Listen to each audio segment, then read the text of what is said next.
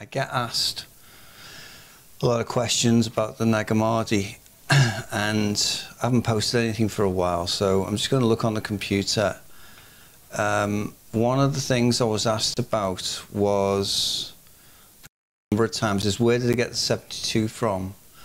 Well, it's in the book on the origin of the world, and if you look at the original translations that were done by the scholars, I think they are the far superior version because they keep tweaking them and dumbing them down, you know, to hit a bigger mass market. But anyway, chapter, sorry, paragraph 19 says, and before his mansion, sorry, before we get into this, you may, I think the Gnostic library online has probably got it. So check that out. Uh, I downloaded my version, I don't know how many years ago now uh, and I think it's a superior version. And before his mansion, he created a throne which was huge and was upon a four faced chariot called cherubim. Now, the cherubim has eight shapes per each of the four corners lion forms, and calf forms, and human forms, and eagle forms, so that all the forms amount to 64 forms, and the seven archangels that stand before it, he is the eighth and has authority. All the forms amount to 72. So there it is. But I think the mistake I made was in saying or suggesting or basically outlining it as a system of planes. I think that's wrong. That was quite an early translation, and I've looked at it since. And I think it's all to do with the building of the constellations and the astrological houses. I think it reveals a celestial wheel which now sets down a new order of things around him, Yaldabaoth, and how he connects with himself as one above the seven. He is the Ogdoad, if you like, or the dweller of the Ogdoad, king of the seven. So, and before his mansion, which is an astrological house, he created a throne, which is an astrological term for a planet which sits on its throne when in a sign of which it is a ruler, which was huge, it says, and was upon a four faced chariot called cherubim now, the term cherubim means a child angel attendant on the Abrahamic God. So clearly, we're talking about Yaldabaoth. Now, the cherubim has eight shapes per each of the four corners lion forms, which is Leo, calf forms, which is Taurus, human forms, which is Aquarius, eagle forms, which is an old-fashioned term under Vedic astrology, which is super interlinked into all this. I think very, very strong um, Vedic connections was actually eagle forms. The eagle was a symbol of Scorpio. So that all the forms amount to 64 forms and seven archangels of the Hebdomad that stand before it. He is the eighth, the Ogdoad, which is the celestial wheel, They're the dome, the realm of the fixed stars, if you like, and has authority. All the forms amount to 72. So when you look up at the sky from the earth, it's everything you can see with the naked eye. So the earth was his footstool. So prior to this transformation in the story, um, I think you're dealing with a brown dwarf system, a dark system. The archons are settled within that system. And then at that point in the story, he declares himself the one and only God. And that deeply upsets Sophia, who basically sets Sabaoth on fire, transforming his system into a system of light and capable of hosting all manner of organic life on the earth. He reveals the matrix of the uh, she reveals the matrix of the human being. So a lot happens in that. And from that point on the archons know that a greater force existed than them and something existed before them. So they're kind of passive to what's going on so that section i think is um, let me just analyze it. My interpretation is that the four corners are the four houses or star signs that appear fixed to the naked eye. That's where we get the pillars from, or the four corners. They remain, as if, as if they're holding up the sky, they remain fixed to the eye in the northern hemisphere. The eagle is an ancient representation of the sign of Scorpio each house emerges from a cloud of galactic origin. If you look at the original 21 of the major arcana suit, the world card, and that's what we're dealing with here. Now, often overlooked in this card is the number 21, which in Chaldean numerology means the crown of the universe achieved after many struggles and, and trials, and which no one shall take away. Here worn by the sometimes called divine, secret, feminine, at the center of the world now revealed, I think, as Sophia. She's replete with a garment draped across her figure in the form of a single helix, representing her single female instructing principle in the form of the Kundalini energy she brings. It also states in this codex that two bulls in Egypt hold a secret the sun and the moon. I think that's the eclipse uh, being evidence and a witness to Sabaoth, namely that over them Sophia received or took control of the universe. From that day or age, uh, she made the sun and the moon. She put a seal upon her heaven unto eternity. Now then, looking on YouTube, right, another question I get asked. Um, so what is the soul? Um, how is it different from the body and the spirit? Well, in the texts, you have a thing called a tripartite male or anthropos. And the three constituent parts of you and I represent the three different levels. So you've got the eternal spirit, from which we get from the spirit realm, which is ourselves, the true selves. You and I. We are immortal, eternal spirits that incarnate into a body which is called the soul. And it's a bit like the human body in as much as you have organs. The sacred organs are, are, of course, the chakras, and the blood system and the nervous system are like the arterial systems. They're the meridians within the aura. And the divine spark that sits within the soul is actually somewhere here, but deep in, in the head, at the center of the head, at about here. Because sometimes you see this kind of sphere cut off, and it, it cuts off just beneath the knees. And that's the spirit aura, and it extends furthest from the body. And that gives spiritual indication, or indication as to the spiritual nature of the person. So when someone comes close to you and you enjoy their company or their intrusion, if you like, or their blending with you.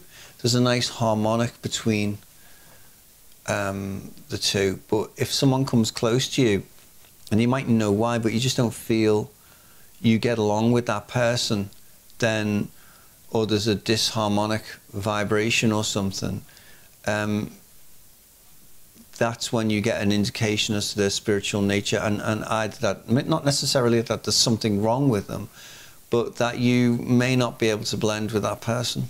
You don't like them close. You get it on a bus in the office wherever it is you work and you think i don't like them being close to me. Or other people you, you want to get close to so it's that's that particular aura and the divine spark which sits there creates all the auras of the soul the, you have the mental and emotional aura, which is like a nimbus or gloriosity around the head. And that gives indication as to the mental and emotional um, state of the human being. And then you have the astral body, which is another aspect of the soul, which is a replication and carries the blueprint for the physical body. It's a vehicle which we use to get around the spirit world, so rather the astral. And it's also how we're recognized when we come back through the veil, when you see spirits. In fact, sometimes spirits are seen with the top of the heads cut off and just beneath the knees, and they, they appear to float. It's because you're seeing them through that spirit aura. Then you have um, the chakras, which are the sacred organs, as, as we've said. Um, the most powerful one, of course, is uh, you know people go on and on about the the uh, crown chakra, which is the connection to the divine. But really, the Nag Hammadi flips it on its head. The most important one's the Kundalini, the root chakra, because it sits um, where all the drives are. Uh, I'm not going to get into that just yet, but control of what's between your legs is essential to your spiritual development. You only have to look at the jails, don't you? And what causes arguments in the world and everything else. And the, and the Nag Hammadi text completely nailed that, which is partly the symbolism of the um, Adam and Eve story. So that's what the soul is. And then, you know, we know what the physical body is. So the, the spirit um, in the transformation of the solar system into a system of light and the transformation thereby of the earth into a bio um, world of biodiversity, uh, Sophia revealed the matrix of the human being, and the archons create the souls and the bodies. In fact, in the Judas Codex, it's quite clear, in fact, throughout the codices, that the archons control every human soul. And what that means is that they got into the matrix of the human being at various stages in our, our beginnings and altered the anthropos and gave us drives and things which we find very difficult to overcome, such as anger and uh, sexual drives and hunger and uh, you know th those types of things. Uh, but Sophia put in good things such as compassion and love and qualities of the spirit that were enharmonic with um, the values consistent with the spirit world. So the spirit is the control, and it's when you allow this, the soul and the body to control the spirit that you're in trouble. And that's where the, the text refer many times, and Jesus talks about many spirits led astray. And that's the message of the archons, because the more they can destroy the spirit, the more you end up going to them when you pass over and they get to reincarnate you or to put you back into the vessels of light and they get to live longer because that's the whole message if that makes sense of the book on the origin of the world that the longer they can destroy us and you know be kind of parasitic on us the longer they get to live. So Sophia tricked them into creating the human being, creating the physical body and the animating principle of the soul. Then through Eve and the Kundalini, she changed and altered the soul into something that would be capable of hosting a living eternal spirit, which is how we incarnate. And that's the one thing the archons don't get. I don't know if I've got time in this, but the you know there's a lot of stuff out there about how the archons can't crack the genome. Well, they they, they wrote the genome the way past the genome, what they actually don't understand is how the spirit coming into the soul that they create and the body they create over those two planes that they dominate, how this thing comes in and animates it. Now, the reason they don't understand that is because, as the text keep telling you, from below they are and from above we are. That which does not possess a spirit cannot take hold of a spirit. Uh, they are merely of the flesh and of the soul. So I hope I've answered quite a few questions there. I know it's a bit complex, but you know, these aren't things that you just, you know, digest while you're reclining on your book or lounge. You're being hypnotized by YouTube and daytime TV or something for the rest of your life. These are texts that take a long time to understand, although you may just get them straight away. Is Jesus Christos? Um, no. Sophia and Christos are female and male, favour those things. And sometimes uh, they ent entwine. But Sophia, in creating our existence, did so without her male counterpart, Christos, but with the permission of the God of the entirety, big God, if you like. And I've read a lot of stuff, well, not a lot of stuff, I've heard more than I've read, that this is all a mistake or some kind of experiment or something. But you know what, friends, all, is known. Trees aren't experiments. Neither are blades of grass or um, a cat I've just been to let out in the wind and come back in. Um, so it, these things are beyond you and I to uh, comprehend because they're not made by any human being. So Christos um, is the anointed one and all those sort of things, but he dwells in the Ennead with Sophia, which is the ninth heaven above the Ogdoad. So Jesus is modeled on the Christos Aeon. He comes to reveal you to yourself and your Creator to you, and that you will do all the works that He does and greater, if only you would think, do, and trust as He does. He's the example. Um, there is a school of thought that Jesus is to bring you up to the beginner level, and there's a lot of truth in that. So, Christos is not Jesus, but Jesus is modeled on him. Back in the time of Jesus, what it meant then is different from what it means today. Uh, often taken to mean gnosis, power, and law, but may more accurately be thought of as the ability to create to wit a type of wizardry. The text described the beast in the garden as being the wisest of all the beasts for the reason that he was best made. Therefore, wisdom throughout the NHL should be taken to mean that which is created and made. This is why the demiurge can sometimes be said to have wisdom. So there you have it. Right, I'm asked, what is a vibration? Vibrations aren't actually in the NHL. It's just uh, a level of consciousness is what a vibration is. But there are resonances, but not vibrations in the spiritual sense.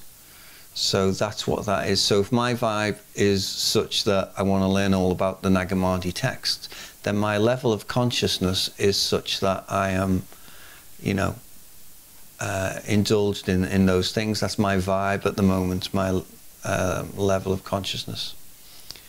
So, now the other one, uh, who asked me that? Um, where are we? Yeah.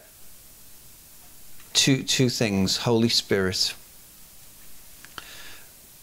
and generation. These are terms that are found extensively throughout the New and Old Testament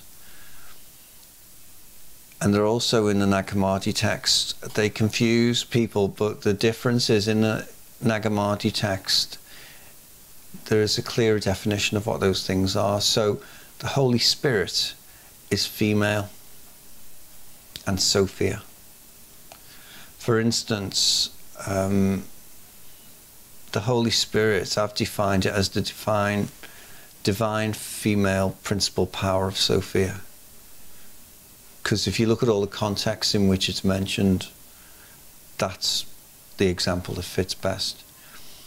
For instance, in the Gospel of Philip, paragraph 17, some said that Mary conceived by the Holy Spirit. They are in error. They do not understand what they say. When did a woman ever conceive by a woman? Hence, the Holy Spirit is Sophia.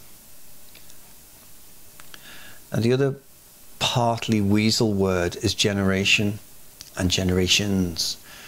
And when I was deciphering the Judas Codex, there's a bit where Jesus appears. They're doing this service or this ceremony of observance, the disciples.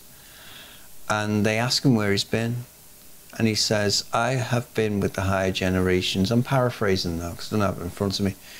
I've been with the higher generations. And they said, Tell us of those higher generations. And he basically says, Don't ask me about them because all you who are of this generation won't see them. And then I thought about that and I thought that can't be right.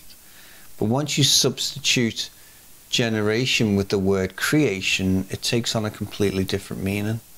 So many instances throughout the NHL, it's been used in place of creation, I think, because when I looked at the original text, creation is the more accurate word. Occasionally generation fits better, but very, very rarely. So you should really consider one or the other when encountering it in the authorized texts.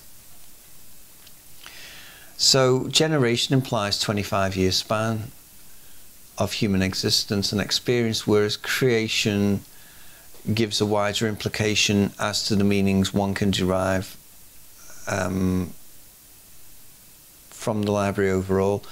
So if you substitute it, and they, they they're doing this ceremony and when he turns up, he laughs and he, they get angry, and he says to them, What is it in your soul that has angered you?